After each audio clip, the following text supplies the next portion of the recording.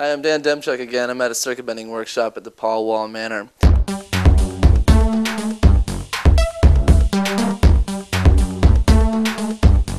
there's all manner of things that you're going to be looking for when you're opening up these toys. Um, things that are, if you're not using just the uh, the side here with all the soldered points at random, you're looking for more things that you know. And this is a, a, nice little chart that I got from Patrick McCarthy to help me remember these things. He's got all these rated as uh, good things to look out for, like resistors and your capacitors. Uh, these pieces here, you can usually find a lot of your good bends off of. The resistors are what you're going to be looking at for your time bends mainly when you're going to be controlling the speed.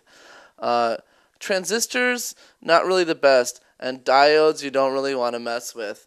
Uh, the lights, though, the lights you can really get smoking. Uh, you can control all kinds of stuff, including those with the time bend. And there's all kinds of things that you're going to want to do. Like I said, you know, by adding some of these in here, there's variable resistors that we can use uh, to control a lot of these speeds just by uh, even the light that you're giving it.